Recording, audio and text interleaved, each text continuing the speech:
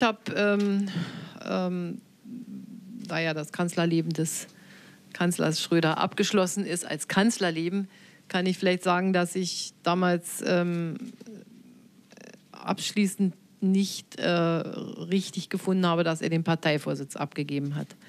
Äh, das war aus meiner Sicht ähm, irgendwo dann, ähm, so ist jedenfalls mein Verständnis, eigentlich absehbar, dass damit auch etwas Wichtiges nicht mehr da war in einer Hand. Ich kenne ja Franz Müntefering, ich kann das alles gut verstehen, aber ich sage nur, das war für mich so ein Punkt, wo ich irgendwie gedacht habe, das hat Konsequenzen.